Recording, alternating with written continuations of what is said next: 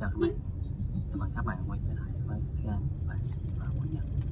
Thì à, bác sĩ Nhật đang đi ở trên đường từ uh, Bình Dương về. Thì uh, đi trên xe thì bác Nhật nhận được một câu hỏi của một bạn là thưa bác sĩ như vậy thì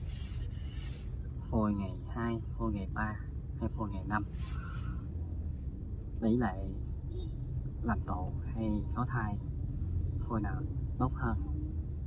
Thì theo các bạn phôi ngày 2 phôi ngày 3 thì ngày trước chúng ta chưa có được cái kỹ thuật nuôi phôi hoặc là môi trường nuôi phôi tốt,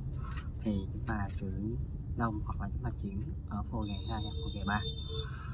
còn bây giờ, hiện tại bây giờ cái kỹ thuật rất tốt và cộng với lại là môi trường nuôi phôi tốt. Do đó là chúng ta, hiện tại bây giờ chúng ta sẽ là nuôi phôi ngày 5 là chủ yếu thì sự khác nhau giữa phô ngày 2 phô ngày 3 và phô ngày 5 thì phô ngày 5 đa số chúng ta thực hiện nếu chúng ta có nhiều phôi từ khoảng 4 hoặc 5 phôi khá trở lên thì chúng ta nuôi phôi ngày 5 và chúng ta có mục đích làm uh, sinh thiết phôi hay là xét nghiệm di truyền tiền làm tổ thì chúng ta sẽ nuôi phôi ngày 5 thì như vậy là điểm của phôi ngày 5 thì theo các bạn là chúng ta phôi ngày năm thì chúng ta sẽ có thể sinh thiết được. Chúng ta lấy tế bào từ về khi lập phôi ở làm tổ phôi ngày năm. Thì tế bào đã đủ để chúng ta làm sinh thiết và chúng ta lấy một mẫu uh, tế bào ở phôi và chúng ta làm xét nghiệm để chúng ta có thể biết được uh, một số bệnh lý như hội chứng 13, 18 và 21 rồi cũng như là thalassemia. Tuy nhiên để nói rằng là phôi ngày 3 khả năng đậu thai à, kém hơn rất nhiều so với phôi ngày 5 thì cũng không hẳn. Thì những cái phôi mà từ ngày 3 đến ngày 5 thì theo cơ chế à, chọn lọc thì những cái phôi mà lệch bội dị bội thì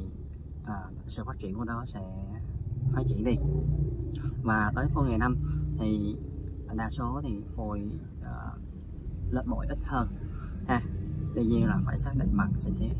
Thế nhưng mà chúng ta ở phôi ngày năm thì chúng ta sẽ có một lợi điểm chúng ta sẽ giảm được cái hiện tượng đa thai bởi vì chúng ta chỉ chỉ cần một tới hai phôi thì chúng ta đã có khả năng đậu thai. À, đi trên xe hơi rung thì đó các bạn ờ, thông cảm một chút. Thì tiếp tục quay trở lại. Như vậy thì cái việc làm tổ thì giống như cái lần trước bác sĩ Nhật có nói đó là cái đối thoại giữa phôi và niêm mạc. Chứ không hẳn rằng là uh, có những yếu tố uh, mà chúng ta tới giờ này thì uh, các nhà khoa học cũng rất là muốn tìm hiểu là lý do tại sao mà phôi và niêm mạc uh, không có thể mà đối thoại được với nhau và không làm tổ được dẫn đến sự thất bại sau chuyển phôi hy vọng rằng trong tương lai thì chúng ta sẽ có những cái xét nghiệm